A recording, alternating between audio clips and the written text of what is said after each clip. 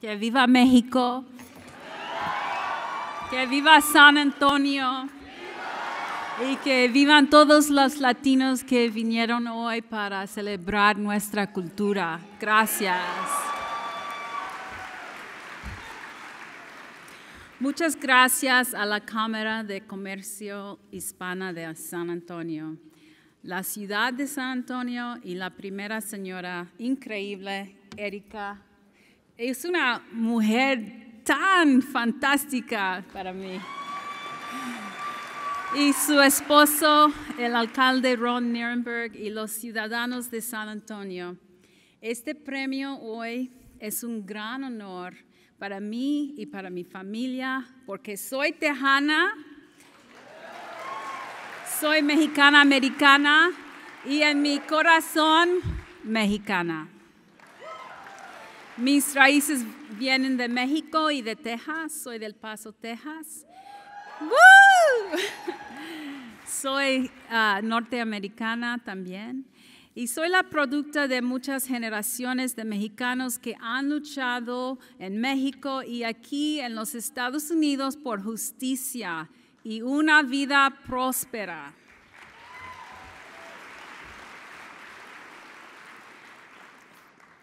First Lady Erika, I want to have that curriculum for my son too. I love your manifesto and for all the companies supporting it, for the, our youth to be entrepreneurs. You will be changing lives with these ideas, and that's so important. Many thanks to the Chamber CEO, Ramiro Cavazos, and the Board of Directors. Give yourselves a hand, Board of Directors, all you do. You're uniting Latinos, and that is not an easy task. Most of all, I want to thank all of the wonderful educators who are here tonight. All the educators, stand up, please. Stand up, educators.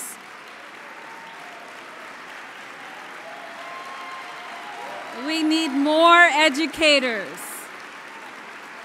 Because we all know right now it's tough to be Latino in this country.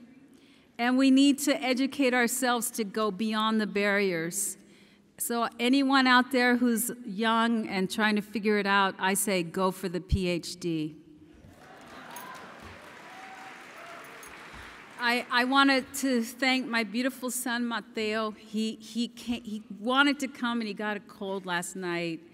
And it was so sad because I wanted him to meet you. I wanted him to see this beautiful city.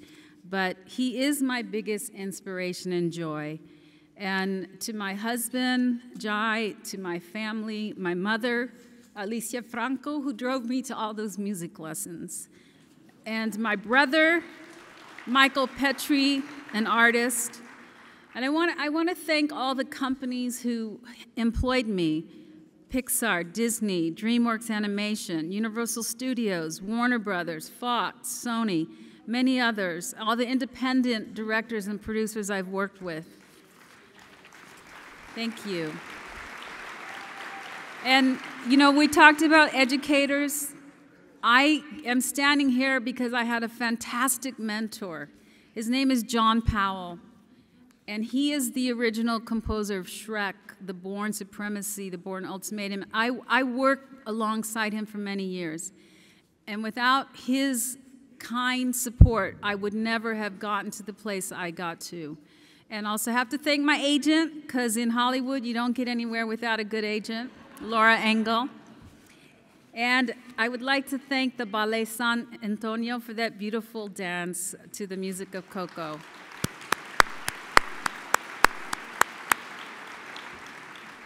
So the last time I was here was in 2010, and I went to a screening at the Guadalupe Art Center, and I was so impressed with God. There's so much culture here. It's like I hadn't been in a long time.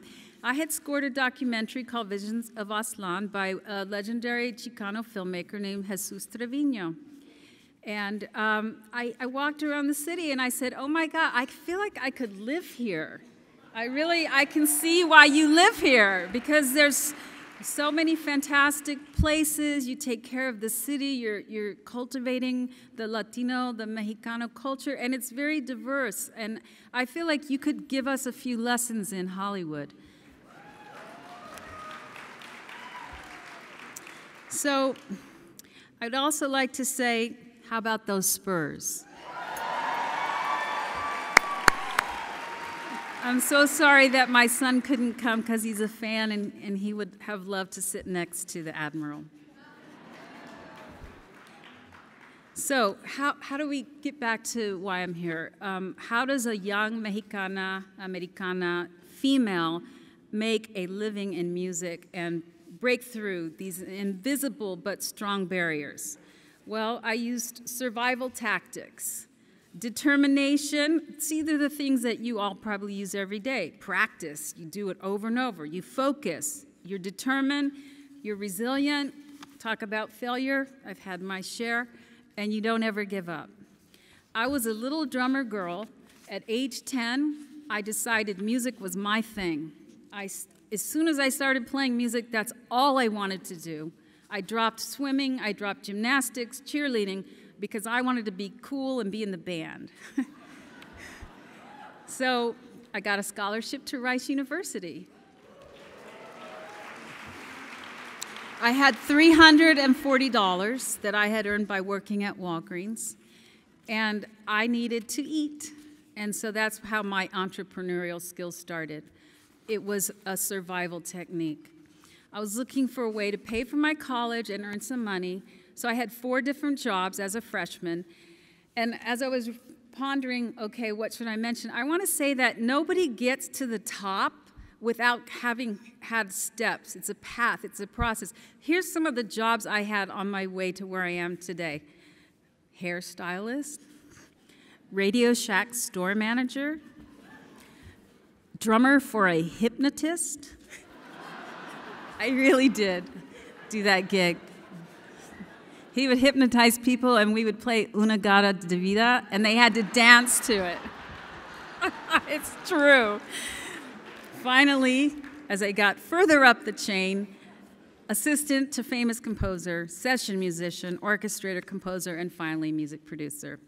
And as a music producer, I've realized that I am an artist and I'm an entrepreneur. I'm a businesswoman, I create music, and then I sell that music and it's a business. And although I write music, my basic function is a storyteller. I tell stories through music. And so, how did a Latina woman pass through those closed doors and the glass ceiling of Hollywood? Well, the answer is one door at a time, one step at a time.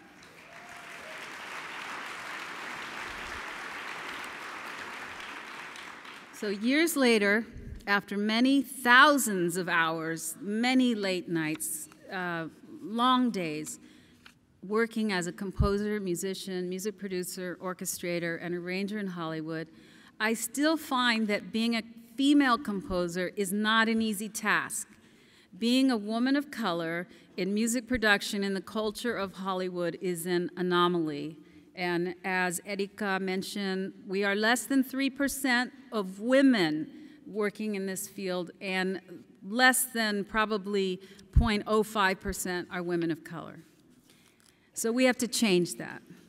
When I walk into a recording studio in the control room, there are very few people who look like me. In the past, when I was working as an assistant in a studio, I was asked, Could you get me some coffee?